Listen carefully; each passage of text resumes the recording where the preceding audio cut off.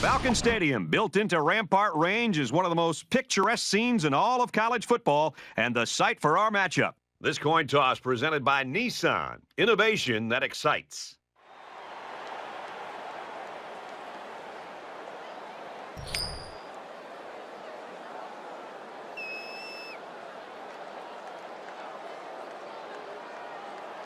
Mississippi State is getting fired up down there as they get ready to boot this opening kickoff. He really got a hold of that kick. He makes it out to maybe the 20-yard line.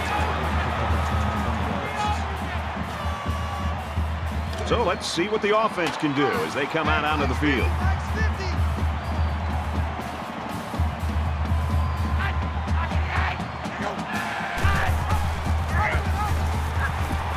He's out to the 30.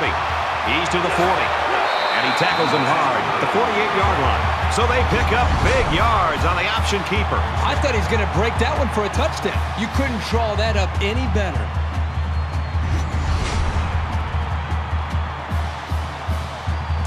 It's first and 10. Ball on the 48.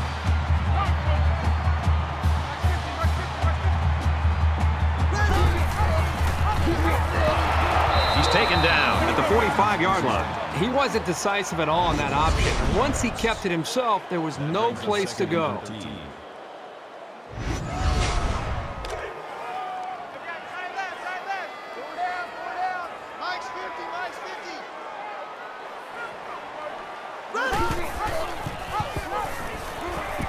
He fights forward to about the 46. Third down. Third down now, and they need to get it inside the 42. Mike's 50, Mike's 50.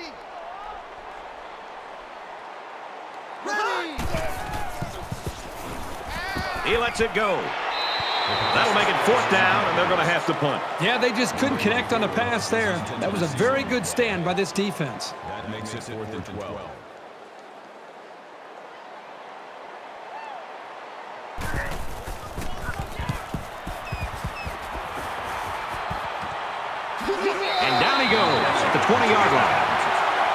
Mississippi State's coaching staff so confident they know they've got a guy that's one of the best running backs in the country and that they can just play their game and not worry about the fact they're on the road. Well, Brett, his big play ability not only can give you big chunks of yards on the road, but more importantly, it can quiet this atmosphere and allow the quarterback in this offense just getting back and, and just being able to run and be able to communicate. And I think that's a big challenge for this team. So look for his big playability to maybe even out the atmosphere and give this offense a chance to be able to execute.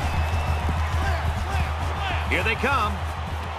Caught, open field, tackle at the 49. Makes the tackle. Gain of 29. First down. Mike 36. Mike 36. And he's level at the 48. That brings up second and nine. Check, check, wing 90. Eagle.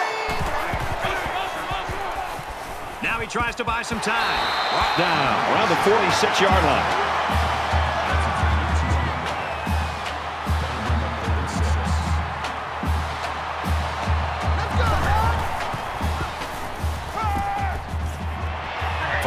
To his wideout, and he is drilled at the 27-yard line. Number 13 makes the tackle at the 27-yard line. That makes it first and 10. Six. Mike. Right 80. Right 80. Inside the 10. He's knocked out of bounds around the 7-yard line. We've played one quarter. This one's scoreless. That makes it first and goal.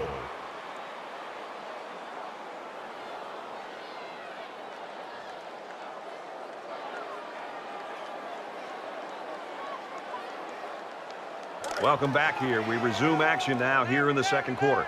Watch 36. 36 to Mike. Oh, yeah. Oh, yeah. Pitch out. Got the corner. Touchdown, Mississippi State.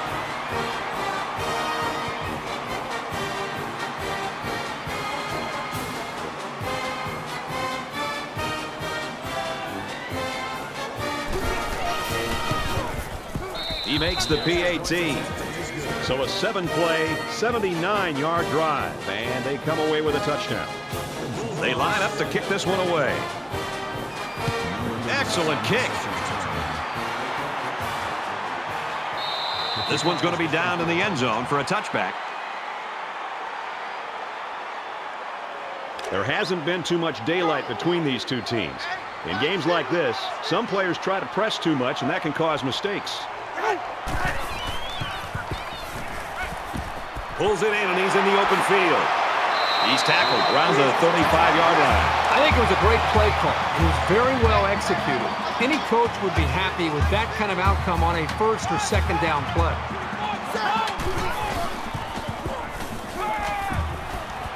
Just throws this one away. So it's third down, and they're just inches away from picking up the first down.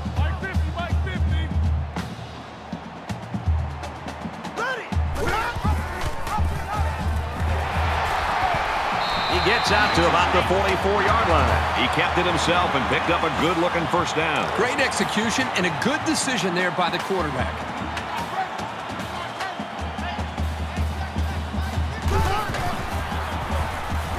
He scrambled. Slides down to the ground. This is a pretty tough guy and he's a great leader. He's going to do whatever it takes to help his team.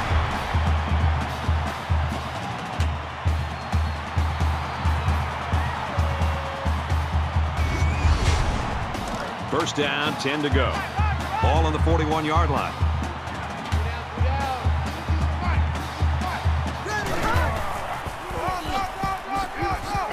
Brought down after a nice run up the middle. That makes it second and six.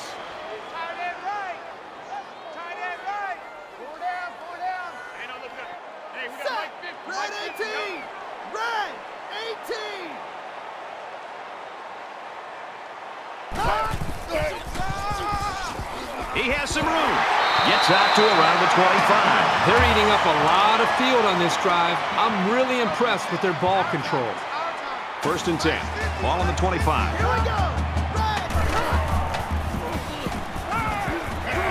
And they get the sack. Brad, not only did they give up a sack here, but their quarterback just got hit and hit hard. If I'm an offensive coordinator, or especially an offensive line coach, I'm getting a hold of my offensive line, making sure these guys are on the same page, and they've got to take more pride in taking care of their quarterback than that play right there. Here's the throw, and I don't think he got anything on that.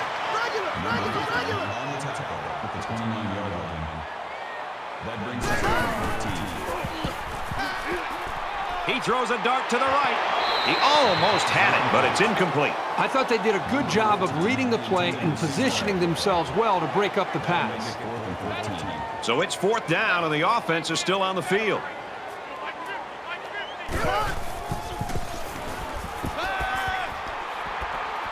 Quick throw, incomplete, wanted his receiver. Big stop by the defense.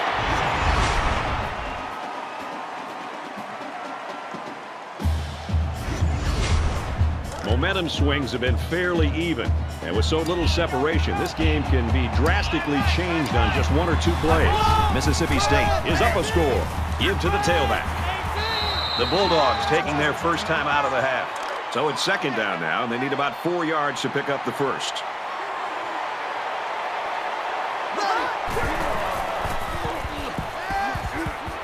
Throws and it's incomplete. Even though they didn't sack him, the pressure was still enough to force a bad pass. If you can get in there and disrupt the pocket, then the quarterback is going to have a tougher time getting the ball to his playmakers.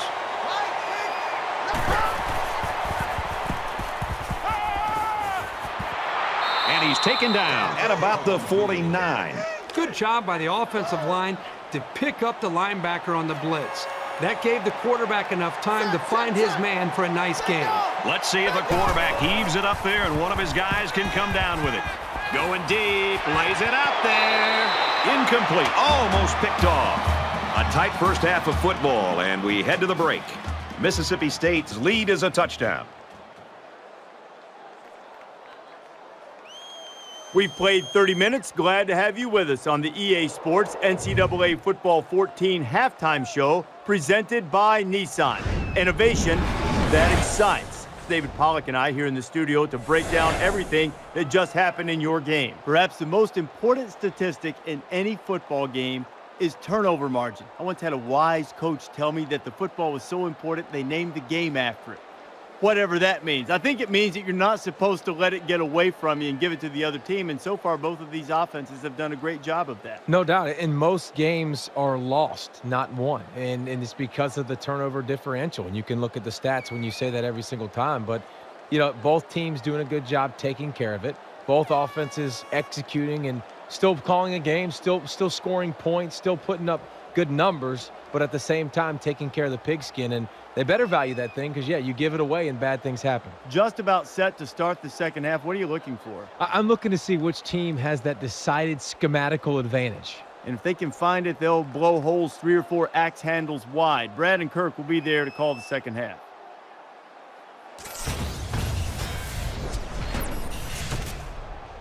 Welcome back, everybody. Second half action about to begin.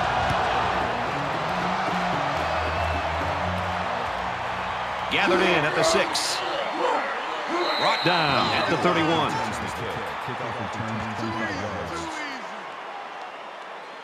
We're about set to start things up again. Mississippi State is up seven.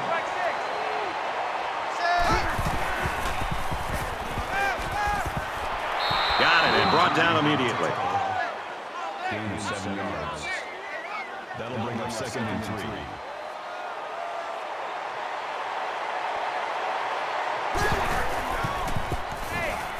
He's on the run. And they make the stop at the 49-yard line. So he keeps it, and he gets a big first down. The quarterback made a very good decision here not to pitch. He saw a break in the defense and just hit it for a big gain.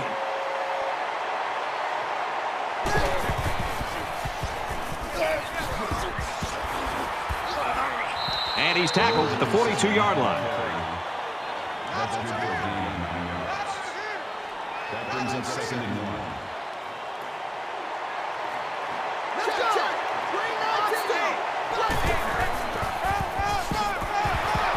And down he goes, right around the 40. Yeah, I'm not shocked to see him have a chance to run the football. I remember being out of practice earlier this week, and one thing that became very clear is this wide receiver not only can make great plays in the passing game, but they're going to try to do what they can on reverses and different things to get him the football. And here's an example of what he can do and how explosive he can be.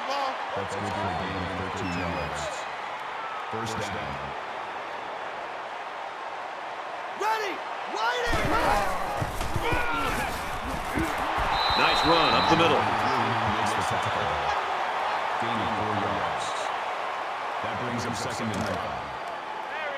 It's second down, five to go. All on the 23-yard line. Mike, six! Come on, baby. Let's see what you got. Throws incomplete. There's one the quarterback would like to rewind because he has a wide open receiver and he just misfires. This is the eighth play of this drive. Mississippi State up seven points. Tackle made at the 16. That's good for a gain of seven yards. First down.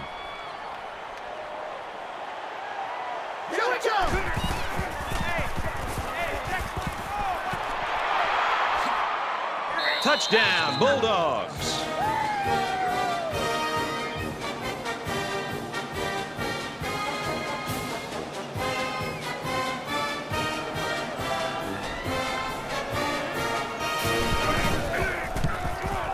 He splits the uprights with the extra point.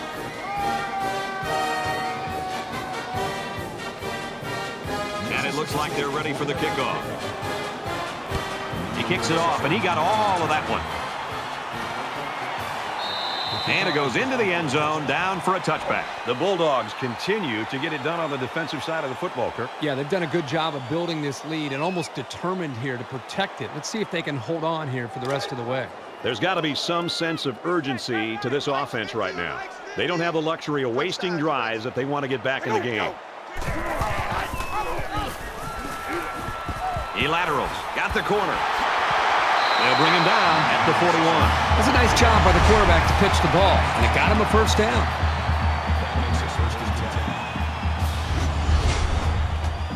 A man down, and he's in some pain right now. From their own 41-yard line, first down.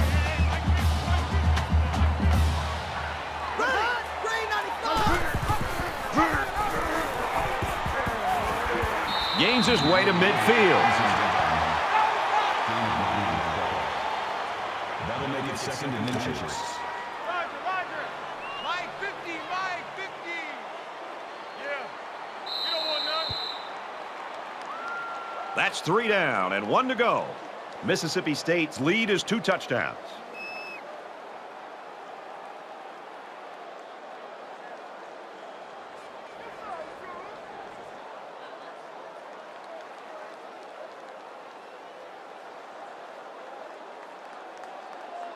All right, we're just about set to start action here again in the fourth quarter. Mike 50, Mike 50. Just under two to go in the game. Check, check.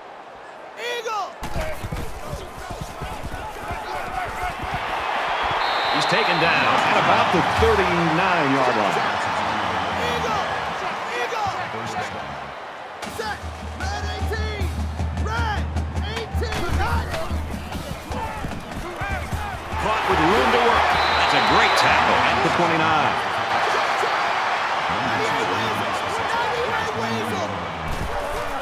That'll make it second and inches. Pass incomplete, trying to get it to his receiver. You got to give the receiver a chance to make the play. That was just underthrown. It's third down, and they're about the length of the football away from the first down marker. Heavy, heavy on the edges, heavy on the edges. Ready. Check, check. Big dog. Throws quick to the receiver, and it falls incomplete.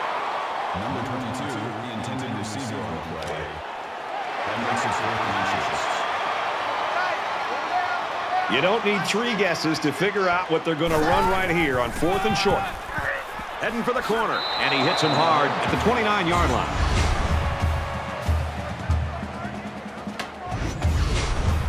Both teams are well aware that a score on this drive is going to create an almost insurmountable lead. This defense has really got to step it up and make a stop. And they get nice yardage on that run.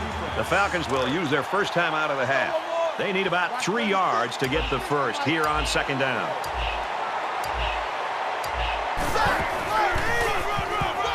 Little handoff. The Falcons use their second timeout. That play was over before it got started. That was just a case of the offensive line getting beat at the snap of the ball.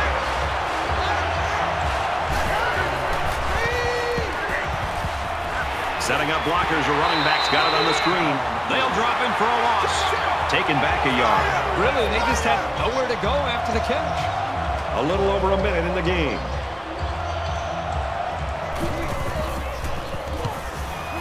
Booming kick. And he's taken down at the 35. So now both teams come trotting back out onto the field.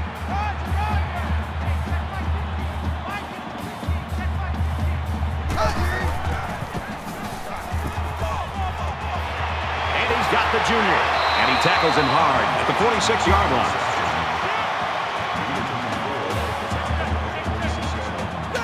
Green and late. Green. Fires out to his receiver.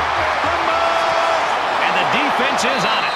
So after the mishap, we've got first down going the other way. Often you'll see this from a playmaker. He tried to do a little bit extra and ended up losing the ball. It's a nice play by the defense to recover that ball.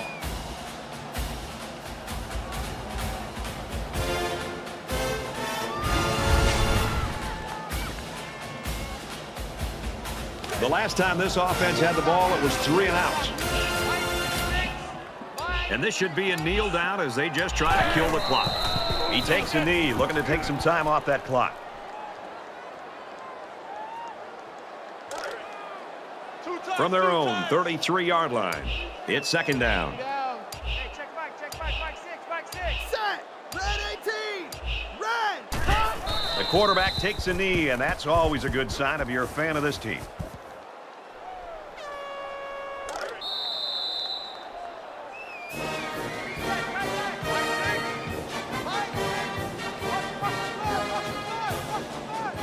And the ball game's over. And our final score in this one, 14-0, Mississippi State. And the Falcons. Thanks for joining us for another game of NCAA Football 14. For Kirk and everyone here at EA Sports, Brad Nessler saying goodbye, and we'll see you next time.